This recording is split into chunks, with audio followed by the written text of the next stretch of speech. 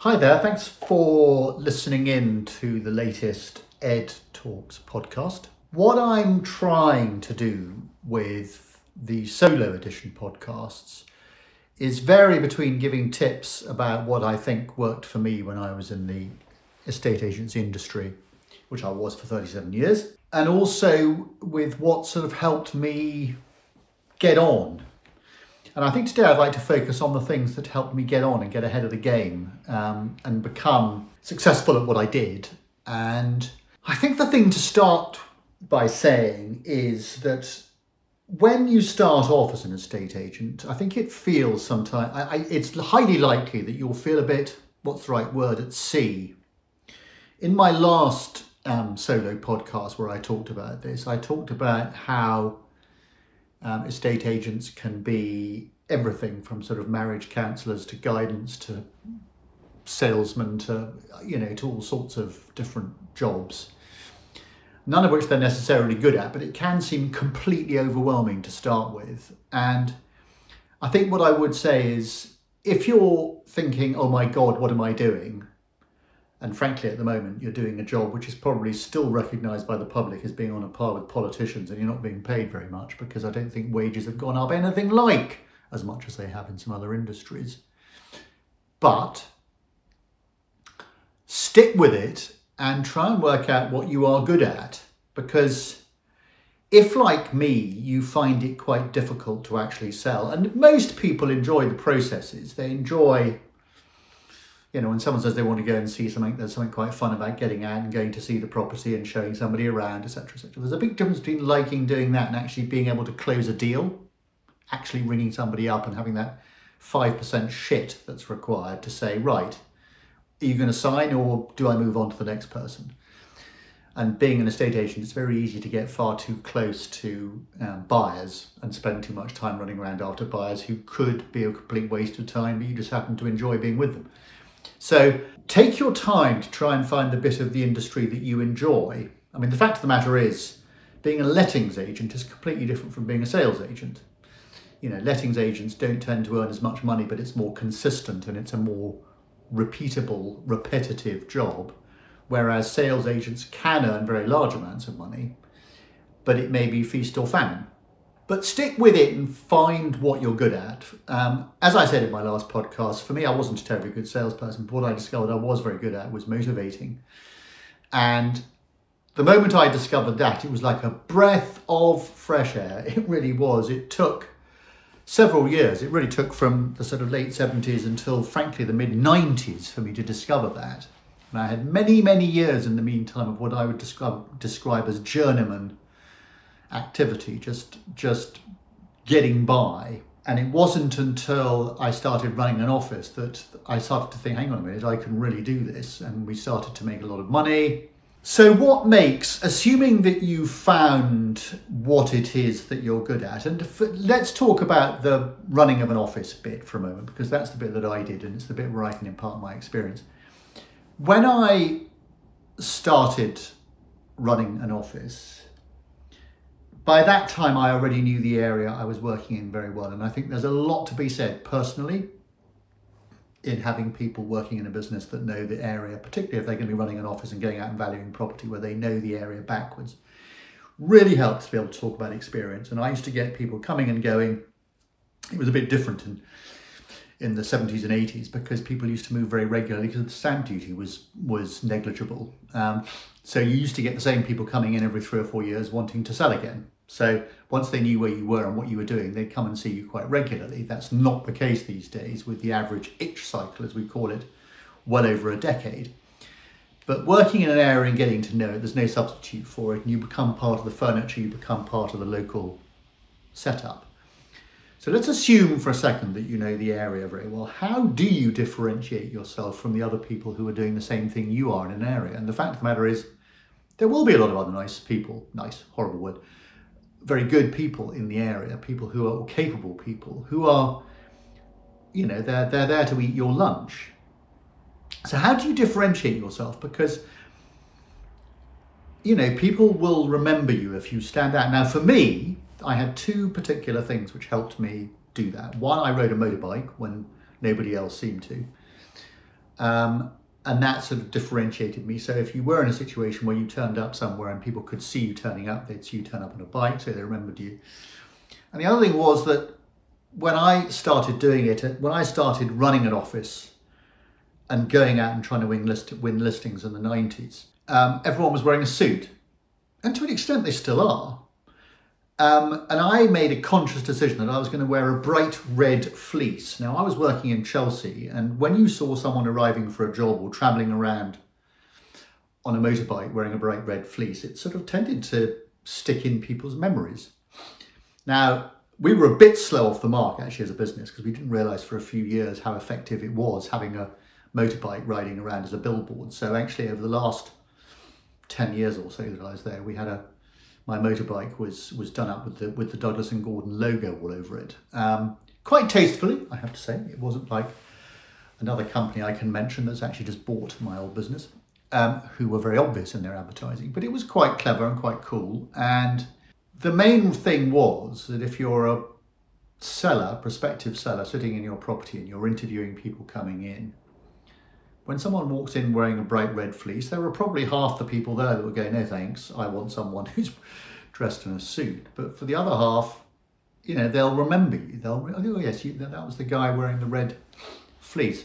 Um, I mean, there's so much talk these days of efficient ways of running a sales team, etc., etc., and that's fine. I mean, you know, my methodology for my sales team was to was to let them get on with it and be there if they had any problems. And over a 22 year period running an office, I only had really I only had two teams. They only sort of changed over once during that period, and working with the same people and and those people that I work with are now running successful businesses themselves. Now, I hope a little bit of what I taught them has rubbed off on them, but everyone has their own success stories.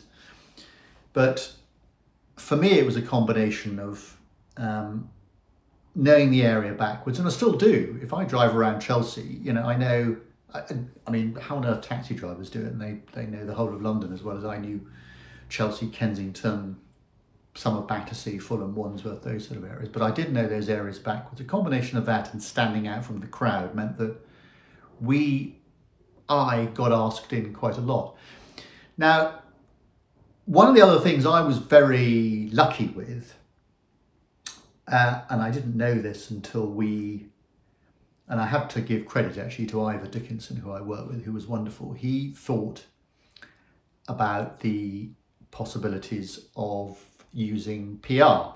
And it wasn't something that had really been done much before. So we employed um, a PR agency and it was a huge success for me personally and for the business.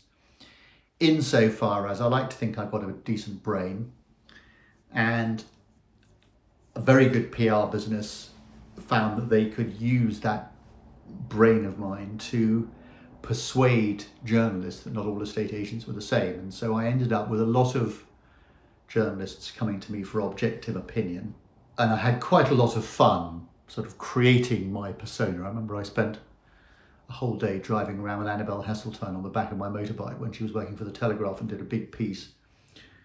And things like that. It was it was highly entertaining. Now, I rather sort of flippantly say talk here about PR, but actually PR is one of those things that not everyone's good at. A lot of people freeze when a microphone or a camera is shoved in their face, and and I don't. But nevertheless, it's something which is well worth pursuing. And I think that success in PR is, I don't think, should be measured in column inches. I think there, there are some very irritating PR businesses out there that just shout about how many column inches they get, and it's just rubbish. People will judge you on your output. Um, and they will see through it if you're talking bollocks, if you'll pardon my French. So, finding somebody from within your organization who can talk sensibly and has got the time, most importantly, to talk sensibly, is well worth doing. I remember one of the biggest agencies in the UK really struggled. None of their senior staff either enjoyed or was particularly good at doing the PR side. So this business ended up having to find somebody in a very rural office to do it who was very successful, and that person has now gone on to have a very successful career themselves, and that's not an uncommon story. So you need to find someone that's not just good at making a lot of noise, but someone who is uh, considered and frankly knows what they're on about, and it's it's it's it's it's really important. But PR is very very undervalued. I think it's often misused, and there aren't many good people out there. So if you want some advice on that, I'm very happy to give it because I think it's a it's an area that a lot of people, particularly agents who've been in areas for a very long time and know that area backwards. There's a whole industry that's got up around data and supplying data and opinions about people living in the area. And you, if you read a lot of the articles and the stuff on LinkedIn, they say, oh, yes, you need to produce good content and people really want to read it and people want to know what the, value of their house is. I think people are quite keen to look at different things and different angles, talk about stuff that you enjoy and stuff that you're good at in your area. Don't try and be all things to all people. Um, and certainly from my point of view, when I was talking to a lot of the journalists back in the sort of 90s and the noughties, um, I would say things exactly as they were. I think a lot of agents just simply say, yeah, it's a great time to buy, which clearly it isn't always a great time to buy, but say the truth. You know, I don't think you'll find many clients or potential sellers will say, I read you in the Times last week saying that you think the market's crashing. Well, you know, any, any sensible PR person is never going to use the expression crashing because again, it's just bollocks. People, the press talks about things crashing or soaring, and there's nothing often in between. When you, the listener, and I both know that the truth is is exactly in between. Normally, things go slightly up or down. They don't often crash or soar.